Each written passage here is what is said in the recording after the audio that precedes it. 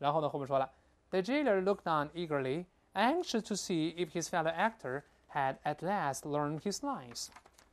这个看守在发坏，那他呢非常急切的在旁边看热闹，那么想特别迫切的想看一看他的演员同事是不是最终把这个他的台词给背下来了。嗯，咱们看一看这句话的句子分析，这是个重点句。嗯嗯。这个逗号前面呢，明显是句子的一个主干结构。The jailer looked on eagerly，eagerly 是迫切的，迫切的啊。Look on 是旁观看热闹，非常迫切的旁边看热闹，看看他怎么反应。哎，anxious 还是急切的、迫切的。在这里为什么没有再用 eager 呢？再用 eager 跟前面 eagerly 就混了，其实是同义词替换，只不过呢是同根字啊。这个这个再用 eager 的话，跟 eagerly 就有同根字的这个嫌疑了。这个 anxious 在这是形容词短语。后面加 to do，形容词短语前面可以看到省掉了什么呢？还是省掉 being，being anxious，在这儿啊依然是原因状语。为什么看重呢？因为他急切的想看一看 if 从句，当然是做 see 的宾语从句了。急切的想看一看他的演员同事是不是最终把台词背下来了。这是非谓动词当原因状语，在前面的 being 被去掉了。我们讲了，非谓动词和独立主格中，只要出现 being，一般来说 being 都可以去掉。哎，这又是老知识点的复习。这句中啊，重点特别多。咱们先看一看前面那个 look on，这个特别容易错。look on 在这是旁观看热闹，只是看，但并不参与进来。这个时候，它跟另外一个动词短语可以同时记住。我们大声再读一下：look on，stand by，stand by 也是旁观看热闹，表示只是看，但并不参与。但注意哦，表示这两个意思的时候，后面不能加宾语。一旦加宾语，意思立刻就变了。加宾语是什么意思？咱们一会儿来说。这个时候都是不及物的，后面不能加宾语。比如说，Only one man tried to help us; the rest just looked on or just stood by in silence。仅仅有一个人呢，试图帮助我们，其他的人只是静静的旁观看热闹。看到了吧？后面不能加宾语哦，这是旁观看热闹。甚至我们说旁观者直接可以构成两个名词了。把这 on 和 by 放在前面去，后面加 er 就好了。我们大声读一下：onlooker，onlooker，bystander，bystander，旁观者，看热闹的人。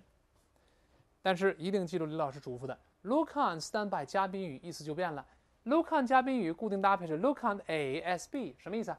把 A 看作是 B，不是旁观了啊。回忆：We look on her as a daughter。我们把她看作亲生女儿，视如己出，就把 A 看作是 B。哎，stand by 如果加 somebody 做宾语，意思完全相反了，要翻译成支持帮助某人，而不是袖手旁观。你看，这个搭配决定含义，既搭配多重要啊！支持帮助某人，对吧？He stood by her through the difficult times。这个男人支持帮助这女孩子度过了这段艰难的这个时期。啊，你看 stand by 单独使用叫看热闹，stand by 加宾语。是支持帮助某人，所以英语中确实写作使人精确，确这个确确实使用时不能马虎，差一点就错了。好，再回到句中，为什么他在看热闹呢？因为他迫切的想看一看他的演员同事是不是把台词背下来了。这个咱们说了，本文中的 anxious to see 到句末是一个非谓动词对应原因状语，为什么旁观？因为他想看这个呀，所以他在旁边很急切的在看热闹啊。本文中可以看到省掉了 being，我们说了 being。因为这搭配本来是 be anxious to do，急切的去做某事啊，变成非谓动词之后，当然把 be 换成 being，being 一般可以去掉。非谓动词独立主格中出现的 being，一般来说都能去掉。你不去掉，当然也完全正确，也可以啊。这个也是旧知识点的复习，咱们复习一下第十六课《玛丽有一头小羔羊》里边，在七十四页的第十三行。七十四页第十三行，ashamed 是个形容词短语，后面加 of。对自己刚才如此鲁莽行事感到很羞耻，Dimitri 向 a l e k o 来道歉，因为刚才曾经指责过他。哎，因为对自己鲁莽行事很羞耻，ashamed 前面依然可以看到省略了 being ashamed，为什么呢？这非谓动词嘛，非谓动词逻辑主语是谁呢？就是 Dimitri，主句主语还是他，所以呢，这种非谓动词正确。但 being 呢，一般可以去掉了。本文中也是，那么 anxious 前面省略的 being 是谁急切呢？就是这个狱卒。主句主语呢还是 jailer 统一了用非谓动词，但是这个 being 呢是被省略了。哎，这是老知识的复习了。当然，急切的做某事也是复习。Be anxious to do be eager to do, be impatient to do, be itching to do, be desperate to do, be dying to do，都可以表示非常迫切的想去做某事。Anxious 急切的，呃，急切的，呃，很不耐烦的，是等的不耐烦了啊。这个 itching 心里很痒痒的，desperate 不顾一切的要做某事，dying 快想死了。总而言之，特别想做某事。还有一个 can't wait to do，也是表示哦，I can't wait to see the movie，我非常想看的电影，用它也行。这是复习。本文中选择是 anxious 这个词，为什么没有选 eager 呢？因为前面出现了 eagerly，再用 eager to do，这个搭配就重了。把这个看看清楚啊。看看他的演员同事怎么样？演员同事 fellow actor 又是咱们老知识的复习，复习第四课，二十六页的第十二行。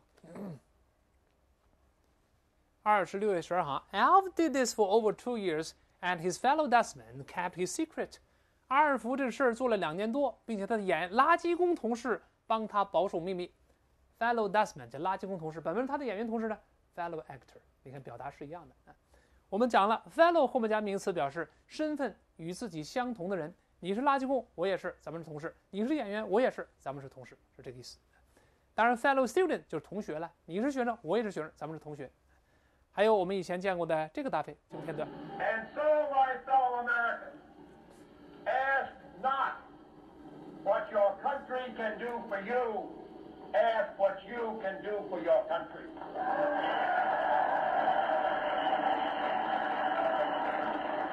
这个片段，相信大家还记得肯尼迪就职演说中的片段，著名的名句。因此，So my fellow Americans，怎么翻译呢？因此，我的美国同胞们，这不是同事了。您是美国人，我也是美国人，咱们是异国国家的同胞。哎，那么不要问你的祖国能为你做什么，问你能为你的祖国做些什么。精彩的句子，名句。那咱们再听一遍，看看能不能把这句子背下来。好，再来念。And so, my fellow Americans, ask not. What your country can do for you, ask what you can do for your country.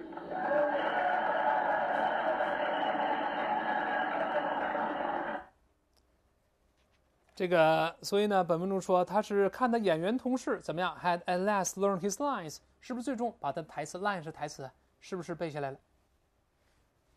背起来，我们说 learn something by heart，know something by heart，可以。也可以单独用 learn something，刚才讲了，没有 by heart 也行，但 know 单独使用不能表示背诵。你看本文中出现了三次，背下来表达都不一样。第四行出现的是，再看一看啊，题目呃课文第四行出现的是 know their parts by heart，把台词背下来了。第十一行出现的是 learn the contents of the letter by heart，learn by heart 也是背下来了。第本句在本句中出现 learn his lines，单独用 learn 这个词，后面没有加这个 by heart。三个表达都出现了，而且前面台词用的是 parts，这类台词或者 lines 从名词表达也不重复，所以你要替换的话，大脑里有存货，否则你不知道怎么换的话还是枉然。下句话说：The noble stared at a blank sheet of paper for a few seconds。这个贵族 stare at，咱们词汇中讲了是怎么一个看？stare 瞪大眼睛凝视，对吧？瞪圆眼睛，哎。没有字儿，这可怎么办呢？对，他一瞪大眼睛试，而且瞪了几瞪几秒钟，在想该怎么办。这冷场了，救场如救火呀，这怎么办呢？后面突然来了极致了，他说：“Then squinting his eyes, he said, the light is dim. Read a letter to me.” 然后眯起眼睛来，他说：“光线太暗了，把信读给我听。”他是贵族，确实有这权利，就命令他读给我听，把球踢到那边去了。这个 “screen one's eyes 在词中讲过，叫眯起眼睛来，特别是强调，因为光线不清，看不清了。不行，光线太暗，看不清。你给我读一读，眯起眼睛来。所以这个后文呢，咱们看中文翻译可能是有点问题。咱们看这个译文啊，看一百一十页译文，这个倒数第四行，译文的倒数第四行，一百一十页后面翻译成，然后眼珠一转。盯着白纸看见，这眼珠在本文中不是眼珠一转，这个翻译错了，是眯起眼睛来，假装看不清，光线太暗了，是这个意思。但 squinting one's eye 在这儿是非谓语动词做状语了，为什么？它重点是后面的 he said。你看这个人两个动作，一个是眯眼睛，一个是说光线太暗，读给我听，哪个动作重要？当然是后面说的这句话重要。如果没有这句话的话，后面情节没法开展了吧？眯起眼睛是伴随动作。所以把它当做非谓动词了。我们说主要的动作往往留在主句当谓语动词，次要动作把它状语化、边缘化。这又是一个老知的这么一个复习啊。当然，我们先看看这个后面这个 read a letter to me 这么一个小结构，这个先把它干掉。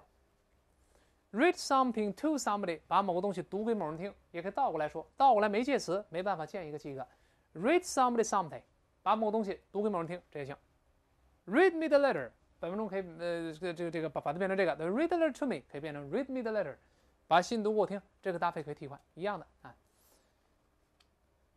然后眯贵族眯起眼睛来说：“光线太暗了，把信读给我听。”你看这个句子，咱们看这这个这个这个亚历山大写的不错，但是我们自己写呢，搞不好写成这个情况。Then he squinted his eyes and said, "The last name, read the letter to me." 然后呢，他眯起眼睛来，然后说：“光线太暗，把信读给我听。”又受到中文影响了，大家还记得吗？中文是个竹子，它都是一节儿一节儿的，看不出哪个动作重要。但是你如果 and 连接的话，说明眯眼睛和他说重要性是一样的，而在本文中它重要性明显是不同的。这又是咱们以前的老知识，再复习一遍。汉语的特征，它是连续使用动词，叫平行语或者连动句，它几个动词之间看不到明显的重要性的差别，这叫 parotaxis。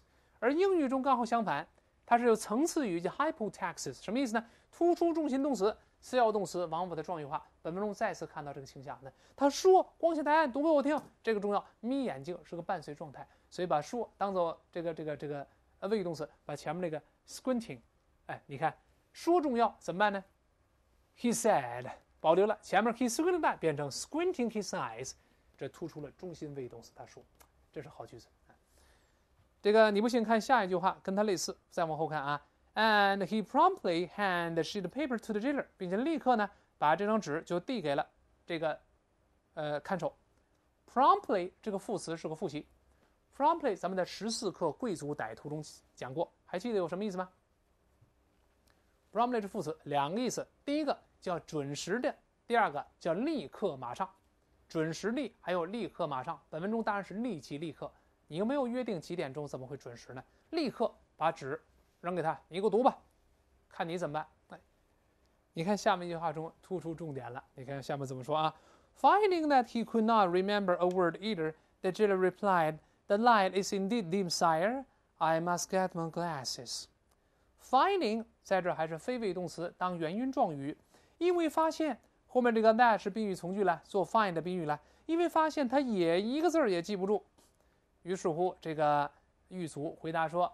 哎，这光线的的确确有点昏暗，dim 叫昏暗的。陛下，对，我必须去后台求眼镜去，我得去拿眼镜，我确实看不清楚。狱卒发现他也一个字儿也记不住，于是他会回答说：“陛下，光线太暗。”你看咱们自己写呀，搞不好这句子写成这样了。这个英语句子更像中文啊。这位狱卒发现他也一个字儿也记不住，因此他回答说：“光线太暗了，把信读给我听。”这个确实更像中文。这个狱卒发现记不住，所以他说光线太暗。这个从中文表达呢，看不出太大差别来。但是你看看，这个狱卒两个动作，第一个是他发现他一个字儿也记不住，第二个是回答光线太暗。呃，这这我必须拿眼镜去。你说这个发现他记不住，跟他这么去回答哪个重要啊？明显是本文中后面他回答说，我必须后台拿眼镜儿，要不然这故事还是没法去。呃，去铺展下去了。关键的地方，reply，怎么办呢？把它当谓语动词好一些。但是你这里重心偏移了吧？为什么？So 是个结果状语从句，你把这个 reply 放到状语从句中了，而这个 found 是主句谓语动词，这个重心反了。所以怎么办呢？改过来，finding 把前面变成非谓语动词，然后呢后面 the jailer replied 后面变成主句了吧？呃，这个狱卒回答说，这是重点突出、主次分明的句子。咱们越看越多，心里就越来越有根了。哎，这是好句子，好句子啊！哎，咱们再复习。这是咱们以前说过的一个 Chinglish，一个中式英语。他看了看表，然后看见现在是一点钟，但是大钟敲了十三下，然后大钟停了。你看，and、but、and 都是并列，但是这是十三等于一第二课中的一个片段。我们看这里面哪个信息重要？他看了看表，然后看见现在是一点钟。看表跟看见是一点钟哪个重要？看见是一点钟重要。它十三等于一呀，看表那是次要的嘛，所以 saw 看见这个重要。那后半句呢，大钟敲了十三下，然后大钟停了。大钟敲十三下跟大钟停了哪个重要？敲十三下重要，它怎么叫十三等一呢？它停早晚得停啊，不可能总敲去，怎么办呢？这两个当谓语动词，那两个把它边缘化、状语化。你看原文是这么说的，第二课原文是这么说的：Looking at his watch，非谓语动词了吧？啊，他看见，呃，主句谓语动词，现在是一点钟，但是呢，the bell struck thirteen times，敲了十三下，before it stops，这个 stop 放到了时间状语从句里面去了，也是边缘化了，突出了看到一点钟，但是敲十三下。十三等于一，这个重点就突出了。所以多钻钻研好句子，看到句子写的对，跟句子写的好，完全是两重境界。写的对太简单了，但写的地道才能在写作部分拿到优秀的成绩。哎，这这个确实值得咱们好好去去钻研，尤其是新概念英语，那就去好好钻研钻研啊。好看下一句话，With this, he hurried off the stage。一边说着这句话，他一边匆匆忙忙走下台去。这个 with this，这个 with 在这是介词，随着这个 this 就是上面这句话嘛。光前台，我必须拿眼镜这句话。对，这一边说着这句话，一边就下台了。这个 with 表示随着，一定是介词啊。with 后面加名词或者名词短语，再长它也是名词，因为这个 with 是个介词。随着春天的到来，with the coming of spring，注意不要说 with the spring of coming，春天的到来，先说到来，什么到来？春天的到来，这跟中文语序是反的啊。这个 with 呢还是介词，后面是名词短语啊。咱们说几个吧。随着圣诞节的临近，先说临近，临近可以用 approach。啊，we see approach of Christmas。随着圣诞的临近，再读一下接近、临近、靠近这个词，approach。approach，这个可以这么说。来，再进一步说，随着战争的爆发，with the outbreak of war，战争的爆发 outbreak 就好了。同样的，随着科学的进步，with the progress of science。什么什么的什么，注意这个语序跟中文是反的啊，这都是随着。但是我们看这句话对不对？With the evidence began to accumulate，随着证据开始慢慢积累起来了，这也是随着。这句话错了，后面得打一个叉，为什么呢？With 是介词吧，后面跟从句了，began 是谓语动词啊，从句前面需要个连词，连词随着是哪个词呢？咱们在复习第一课中。随着证据慢开始慢慢积累起来，第一课中用的是 as。As the evidence began to accumulate，随着证据开始慢慢积累起来，动物园的专家觉得必须调查了。注意，同样是随着，with 是介词，as 一定是连词。英语比中文真是讨厌的多呀！中文对词性不那么这个很敏感，但英语中不行啊。Hurry 是匆忙的走，off 是离开，匆忙的离开舞台，匆忙下台了。好看看后面，Much to the aristocrat's amusement, the jailer returned a few moments later with a pair of glasses and the usual copy of the letter, which he proceeded to read to the prisoner. 最后一句话，还是个重点句，咱们好好看一看。 先看语法的分析，嗯。那么第一行这个逗号前的画横线的部分，在句中明显是介词短语做状语，使这位贵族感到大为好笑、大为开心的是，你看本来呢是这个这个呃看守想拿他寻开心，结果最后呢他笑到最后了，他觉得这看守很可笑，这个看守狱卒呢哎返回了，这是句子主干结构了。什么时候返回呢？A few minutes later，这是时间状语了。呃，过了几分钟之后又回来了，with。一直到句末，明显就是一个伴随状语，拿着这个东西，哎，并且呢，拿着什么呢？拿着一副眼镜，with a pair of glasses，还有什么呢？and，注意，一副眼镜这个画横线的，跟 and 后面这个画横线的部分都是做 with 的宾语。第一个是拿着一副眼镜，第二个还拿着，哎，往常的那封信。我们说了，copy 依然不是拷贝，是那封信，那封信那个量词。啊，这封信怎么样？再加定义从句修饰这个信，他把这封信再接着读给。这个囚犯听，